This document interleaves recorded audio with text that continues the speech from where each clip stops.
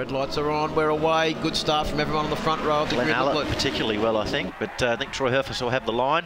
Well, he's got the early race lead. Wayne Maxwell and Glenn Allett will be very determined to make sure that Troy can't escape. Matt Walters up there as well in fourth place. Mike Jones just behind. Yeah, Jamie's gone uh, backwards a little bit there. Mike Jones and uh, Matt Walters just ahead of him on the circuit. Linden Magee right behind him. Then it's Will Davidson, Sean Condon. Cru Halliday's got a fair bit of work to do as they make their way towards the top of the hill. He's back towards the uh, the rear end of the pack there on board bike number six. But after yesterday, Trev, I'd say he's probably just going to take the first lap relatively easy and uh, settle into the race. One man that's not taking it very easy at all is Troy Herfoss there. He uh, was into that, uh, he carried a lot more uh, speed into that corner, but Glenn Allett was very, very late on the brakes and made a lot of it up. But uh, I thought he was going to run a little bit wide there in Bell Helmets Fishhook, but Glenn kept it together. Well, Glenn, of course, really came on song at Queensland Raceway. It was his first uh, real huge step forward on the YZF R1M. Yeah, New they- rider. Yeah, they changed the uh, changed the rear shock setting, and uh, all of a sudden, Glenn Allerton was right on the pace. He was looking very racy in the third race yesterday Yes, afternoon definitely. as well. Took the lead and, and took out a, uh, a very handy lead in only half a lap. Then, unfortunately, there was the uh, the red flag stoppage, which uh, put paid to that. But uh, look at him now as he's right on the ducktail of Troy Herfoss as they make their way up the Ipone Hill, Trevin towards the uh, the top end of the circuit here. The camera doesn't actually show how much of a climb it is up there on that hill. Yeah. And having ridden on a mountain bike, it looks it's a whole lot harder on a mountain bike than what it is on a motorcycle as well. as they just go through Kawasaki corner now Berwick Leathers downhill so quite a quite a tricky little entry to this one too a lot of riders run off here or run wide here Yeah, we've seen uh, some different lines employed there yesterday. A lot of riders getting uh, well very out of Halliday shape up in the there. inside of Linden Magee Oh, there's not a lot of room to go through there. it's interesting to see the difference between uh, see Allen very physical on that uh, R1 and it doesn't look to be riding the bumps quite as smoothly as what uh, Herfoss's uh, Fireblade SP is around here there are a few bumps around here I was talking to Troy this morning I said geez really really sort of the Fireblade's rearing up on you quite a lot still wheeling quite a lot he said uh, he said actually sort of prefer to let the front sort of float off the air so it helps ride that way I don't have to deal with the bumps I was actually looking at the uh, the bikes when I came in from the third race yesterday, and all of them are running the bikes at the maximum wheelbase that they possibly can due to the uh, the nature of this circuit. Mike Jones, it's just uh, Mike Jones and Jamie Stauffer have got ahead of Matt Walters there as they make their way up towards the uh, the top of the Kawasaki uh, corner. Troy Herfoss just got a little down the hill. just got a little bit un, uh, untidy there through uh, Ipone turn three that uh, lap before. He looked absolutely super smooth uh, the whole race there, but uh, the Fireblade did protest on him a little bit there, so he's definitely pushing, not much left in the bag. Well, 58.4, the fastest lap of the race from uh, Troy Herfoss on that first uh, well flying lap is uh, that's a pretty impressive start. Jamie Stauffer up the inside of Mike Jones to take fourth position and pulls it off. Mike s- stands it up a little bit. He does have the inside line. Will get the power down. Yeah, Jamie just ran a fraction wide on the exit of the corner, and uh, Jones will use the power of that Kawasaki to drive out of the corner. But Jamie will be very good on the brakes as they come down now towards the uh, the second corner on the circuit. This is Vesrah turn two. And this is where they start the long drive up the hill. As we said, the camera doesn't really show you what an uphill climb that is up to uh, up towards Ipone there, and that's where our race leaders are at the moment. Herfoss, Allerton, and Maxwell making their way through. So we've got two three-bike battles to sort out the top six positions, with a little bit of a gap in between two of them of about uh, two seconds. Trev. And of course, we still have uh, around 18 kilometres to go in this race distance, so anything can happen from here. But uh, see Wayne Maxwell looming large there in third place, though. He's uh, not far at all behind uh, Glenn Allett and Troy Herfoss, so uh, I know he'll definitely be in the battle right to the flag. Well, if, if anything, Troy Herfoss is probably hoping that Glenn Allerton finishes in second place and takes Yeah. some points off his uh, Jamie up the inside of Jones again. biggest championship rival. Jamie's going to try it again at the same corner. Will he? No, he doesn't run wide this time. Takes a much tighter line. Jamie Stauffer goes so close to that black uh, bit of uh, well, Tyre wall. protector or whatever on the tyre wall. Yeah. Every lap he was almost clipping the shoulder of his Alpine Star leathers as he went past. Matty Walters is about to attack Mike Jones also. In the battle for Pro-Am Championship points as well between uh, Jones and Matt Walters. Jones currently leads the Pro-Am class, but Matt Walters is putting in some good rides of late. Cru Halliday is also starting to uh, close in from behind. On the last lap, Cru Halliday set his fastest lap of the race, and he was about uh, two tenths of a second faster than Walters and four tenths of a second faster than Mad Mike Jones. So Cru should be able to still take some good points here today, even uh, with carrying those injuries. See, Mike's trying to hang with Jamie there. Jamie, oh, is pumping a little bit on the back of that ZX10 there. A fair bit of pogo action there from uh, Mike Jones on board the Cube Racing machine. Of course, the uh, the team leader Ben Henry not here this weekend because his uh, girlfriend's having a baby. So uh, Glen Allen a little bit deep there into uh, Race Tech Turn 8 that time around. Lost, lost a little Yeah. bit of ground to Troy Herfoss there. So uh, Herfoss now enjoys a nine tenths of a second lead. And uh, Wayne Maxwell is half a second behind Glen Allen. So Herfoss has escaped with that 58.06. well, we're about to uh, half race distance now. Pretty much when they get to the top of this hill, Trev, that'll be half race distance.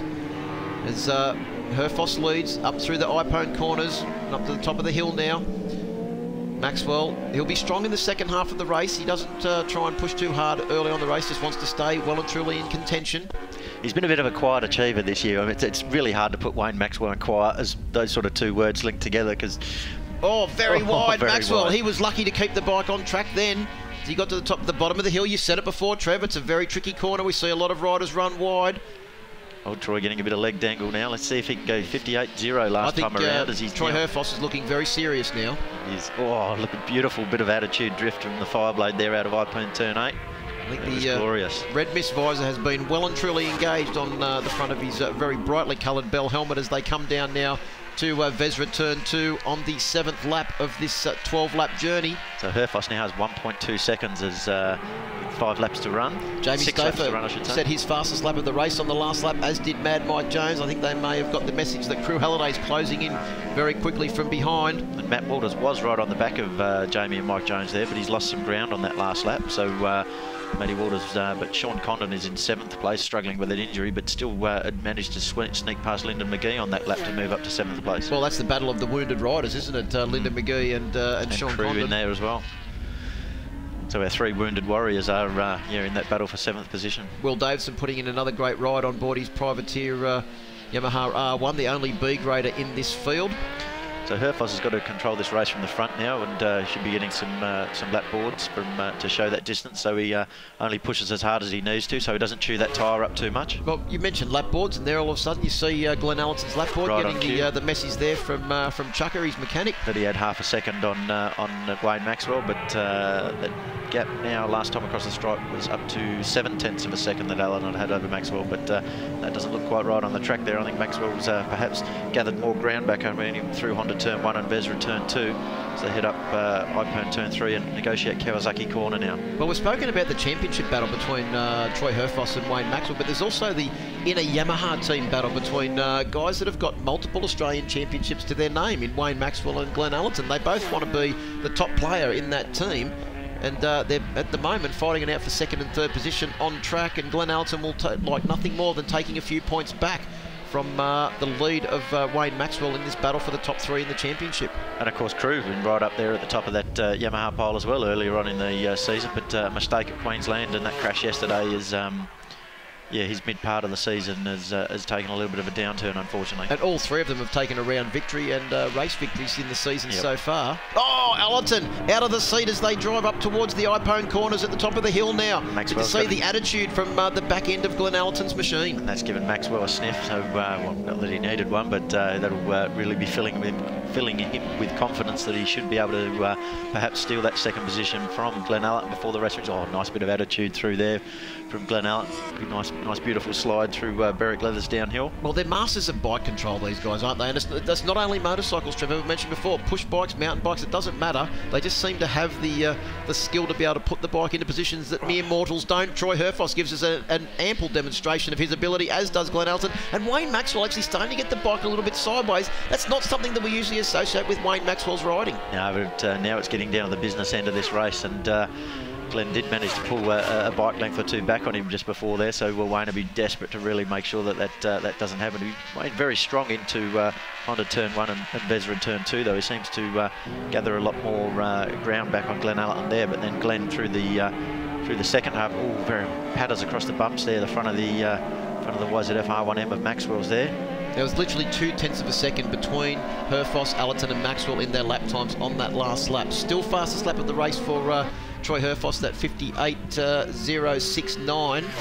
It's Just uh, off the lap, the uh, lap record, 57 flat, I think, isn't it? quite curious though that uh, Glen Allen and Maxwell are back into the 58.8s when they've both done 58.2s and 58.1s. Um, tyre wear hasn't really been an issue for uh, for the guys here this weekend, so uh, I wouldn't imagine it's uh, it's tyre wear that slowed them. So um, I would imagine. I would have thought they would have been going a little bit faster than, uh, than that in this latter stage of the race. Oh, Matty Walters, great demonstration of a bit of sideways action there. And I just checked the lap record. It is a 58.025 held by Troy Herfoss. So he's only four one hundredths of a second off the lap record with that fastest lap of this race now. As uh, we complete course, 10 laps, so we've got two laps to go. And of course, three three of them were under that in qualifying, of course, though, yeah. on, uh, on that uh, solo uh, Friday afternoon qualifying session. So uh, the three guys in the 57.7. Wayne Maxwell was the fastest with a 57.7. I believe, which was uh, the fastest lap ever around Wakefield Park by a motorcycle. Yeah, and I think he'd also uh, shocked a few people that everyone was saying that this was Honda territory and the Yamaha wouldn't be as good here. And Maxwell came out in that Friday afternoon session and showed everyone that he was going to be a contender this weekend. As Jamie Stauffer and Mad Mike Jones get involved in a little bit of uh, close battle there at the bottom of the uh, the fish hook. So they make their way round through Dunlop and out onto the uh, the back straight where there's that good crowd of spectators. You can see all the cars there uh, taking in this great racing action. Matty Walters has just dropped off a fraction. Yeah, he'd be disappointed in that, that, battle. He'd be disappointed to have dropped off the back of that battle. He's two seconds behind Mike Jones there. Troy Herfoss has just got the last lap board as they set off now on the last 2.2 kilometres tour of the Wakefield Park circuit. Herfoss leads by oh, two seconds wow. over Allerton. Beautiful uh, slides from He'll be off to the laundry after this one. I'll tell you what, Trev, after, uh, after that effort, Wayne Maxwell has got a little bit of work to do though. He's got half a second he needs to try and make up through this X section of the circuit to try and mount a challenge on his teammate at the final corner for that second place and the very important 22 championship points that go with it. And but Herfoss on track for 25. And Glenn Allen clearly displayed his determination not to allow Wayne Maxwell any sniff of that second place there with that uh, massive slide up that uh, DID chains uphill was beautiful. He is literally torching that rear tyre now. Herfoss has a look over his shoulder. He knows that there's no one very close to him. Allerton has, I think, just got enough on Maxwell. They'll drive to the flag. It should be Herfoss that will take victory and a very important 25 championship points that go with it. Head underneath the screen. Cheers uh, the crowd as he comes past the line. What a great ride from the top three. And Jamie Stauffer will come home in a very important fourth position, followed by Mad Mike Jones and Matty Walters in sixth. I think that's probably the widest scope over the top um, three over the top three or four finishes um, that we've had this season yeah, certainly there's been some uh, extremely close racing. Speaking of close racing, look at the battle between the Wounded Warriors, Sean Condon and Linden Magee. There was literally nothing between Troy Herfoss takes the win and 25 championship points from Glenn Allerton and Wayne Maxwell. Now, we said about uh, some big smiles down there before. I reckon the local man, Troy Herfoss, will have a big smile on his face when he comes down to talk to Lance very, very soon. He will, and, him. and he's now ready to uh, talk to Lance, our race winner, Troy Herfoss from Team Honda Racing. Well, Troy Herfoss, congratulations. A great way to reward the good crowd that's come out here today. Yeah, so far we're, four down, two to go. So I don't want to get too excited because it's, um, it's a great day and it's good conditions. So these guys are going to are going to pick up on what we're doing. I've been lucky enough this weekend to be sort of a bit cagey and they haven't sort of seen what, what we've got. But um, obviously that's our race pace there. But I felt really good. I I went out um, at a reasonably good pace, and and um, and then I once I backed it off to something quite comfortable, we still grew the gap. So um, very promising, and um, just just got to go go our own way and, and make sure the Honda keeps working as good as possible. After yesterday's atrocious conditions, how is the track handling it today? Oh, it's amazing. It feels like you're a Phillip Island or something compared to yesterday. But um, yeah, conditions are great, perfect, and um, and uh, yeah, we're looking forward to some good racing.